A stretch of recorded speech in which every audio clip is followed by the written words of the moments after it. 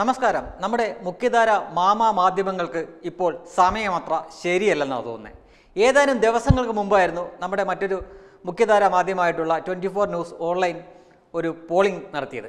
അന്ന് വിഷയം എന്നത് അന്ന് കുറച്ച് വിവാദമായിട്ടുള്ള ഒരു സംഭവം കത്തി നിൽക്കുന്ന സമയമായിരുന്നു. ആയിരത്തി തൊള്ളായിരത്തി ഇരുപത്തി ഒന്നിലെ ചിലരൊക്കെ വീര നായകനായിട്ട് വാഴ്ത്തിക്കൊണ്ടിരുന്ന വാര്യംകുന്നത്ത് അഹമ്മദ് ഹാജി അദ്ദേഹവും അദ്ദേഹത്തിന്റെ കൂട്ടരെയൊക്കെ സ്വാതന്ത്ര്യ സമര സേനാനികളുടെയും അതേപോലെ തന്നെ രക്തസാക്ഷി പട്ടികയിൽ നിന്നൊക്കെ ഐ സി എച്ച് ആർ എടുത്ത് ദൂരെ കളഞ്ഞ സമയമായിരുന്നു. അപ്പോൾ കേന്ദ്ര സർക്കാരിന്റെ ആ നടപടി ശരിയാണോ തെറ്റാണോ എന്നറിയാൻ വേണ്ടിയിട്ടാണ് ഈ മാധ്യമം ഒരു ഓൺലൈൻ വോട്ടെടുപ്പ് നടത്തിയത്. അത്ഭുതകരമെന്ന് പറയട്ടെ ഈ കേരളത്തിലെ ബഹുഭൂരിപക്ഷവും കേന്ദ്ര സർക്കാരിന്റെ നടപടിയോട് യോജിക്കുകയാണ് ചെയ്തത്. ഏതാണ്ട് എട്ട് മണിക്കൂറിന് ശേഷം ഇവർ ഈ പോൾ തന്നെ മാറ്റിയിട്ട് ഈ പേജും വലിച്ചുകൊണ്ട് കണ്ടം വഴി ഓടിത്തള്ളുകയുണ്ടായി. അവർ ഉദ്ദേശിച്ച റിസൾട്ടല്ല അവർക്ക് കിട്ടിയതെന്ന് ശരിക്കും മനസ്സിലായ ആ മാധ്യമം ആ പോൾ തന്നെ മുക്കുകയാണ് ഉണ്ടായത്. ഇപ്പോൾ ഇതാ ഇന്ന് മറ്റൊരു പ്രമുഖ മാധ്യമത്തിനാണ് ഇതേപോലെ അക്കിടി പറ്റാൻ പോകുന്നത്. ഇപ്പോൾ നിലവിൽ ആ വോട്ടെടുപ്പ് നടന്നുകൊണ്ടിരിക്കുകയാണ്. കഴിഞ്ഞ ദിവസം പാലയിലെ ഒരു ബിഷപ്പ് അദ്ദേഹത്തിന്റെ പ്രസംഗത്തിനിടയിൽ ഒരു പ്രസ്താവന നടത്തിയിരുന്നു. അത് ഇവിടെ വിവാദമാവുകയുണ്ടായി.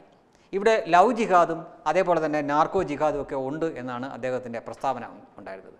അതിനെ തുടർന്ന് രണ്ട് ചേരി തിരിഞ്ഞ് ഇവിടെ വാദപ്രതിവാദങ്ങളൊക്കെ ഉണ്ടായിട്ടുണ്ട്. അപ്പോൾ ഈ മാധ്യമം മാതൃഭൂമിയാണ് ആ മാധ്യമം.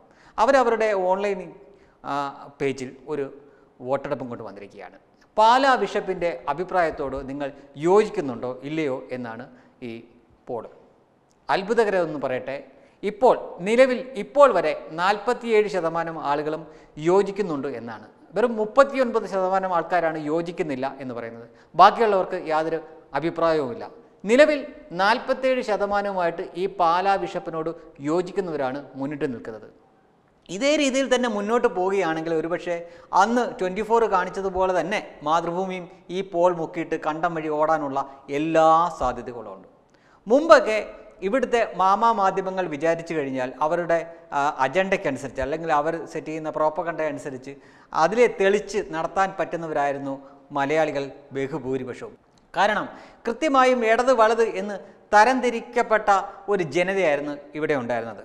ഇപ്പോൾ ഇടക്കാലം കൊണ്ട് ബി ജെ പി ഒരു മൂന്നാം മുന്നണിയായിട്ട് വന്നിട്ടുണ്ട് എങ്കിലും കൃത്യമായിട്ടും ഏത് കാര്യത്തിലും രാഷ്ട്രീയം കാണുന്നവരായിരുന്നു ഇവിടെയുള്ള മലയാളികളിൽ ബഹുഭൂരിപക്ഷവും. അതുകൊണ്ട് തന്നെ ഏത് സംഭവങ്ങളിലും അതിന്റെ ശരിയോ തെറ്റോ ഒന്നും നോക്കാതെ താൻ ഏത് രാഷ്ട്രീയ പ്രസ്ഥാനത്തിലാണോ അല്ലെങ്കിൽ താൻ ഏത് മുന്നണിയിലാണോ വിശ്വസിക്കുന്നത് അതിന്റെ അഭിപ്രായത്തോട് ചേർന്ന് നിൽക്കുന്ന രീതിയിലുള്ള കാര്യങ്ങളെ അവർ ചെയ്യോ ചെയ്യുകയോ ഉണ്ടായിരുന്നുള്ളൂ കാരണം അങ്ങനെയുള്ളപ്പോൾ ഒരു വോട്ടെടുപ്പ് നടത്തിയാലും അതിലെ ശരിയും തെറ്റും ഒന്നും നോക്കാതെ തന്റെ കൂട്ടത്തിൽ നിൽക്കുന്നവർക്ക് വേണ്ടിയിട്ട് വോട്ട് ചെയ്യുന്ന ഒരു രീതിയായിരുന്നു ഉണ്ടായിരുന്നത്. എന്തായാലും ഈ അടുത്ത കാലം തൊട്ട് ഇതിനൊക്കെ ഒരു മാറ്റം വന്നിരിക്കുകയാണ്. കാര്യങ്ങളിലെ നെല്ലും പതിരും തിരിച്ചറിഞ്ഞ് രാഷ്ട്രീയ വ്യത്യാസമില്ലാതെ ആളുകൾ ശരിയായിട്ട് കാര്യങ്ങൾ കണ്ട് മനസ്സിലാക്കി തുടങ്ങിയിരിക്കുന്നു എന്ന് വേണം ഇതിൽ നിന്നൊക്കെ മനസ്സിലാവാൻ.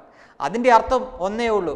ഇനിയും അധികകാലമൊന്നും കേരളത്തിലെ മാമാ മാധ്യമങ്ങൾക്ക് മലയാളികളെ പറ്റിക്കാൻ ആവില്ല എന്ന് ശക്തമായ ഒരു താക്കീത് കൂടെ നൽകുകയാണ് ഈ ഓൺലൈൻ തെരഞ്ഞെടുപ്പുകളും അതിന്റെ ഫലങ്ങളുമൊക്കെ സൂചിപ്പിക്കുന്നത്. എന്തായാലും ട്വന്റി ഫോറിന് ശേഷം ഇതാ മാതൃഭൂമി കൂടി ഓടാനുള്ള കണ്ടം തപ്പിക്കൊണ്ടിരിക്കുകയാണ്. വലിയ താമസമില്ലാതെ തന്നെ അവർ ഓടിത്തള്ളും.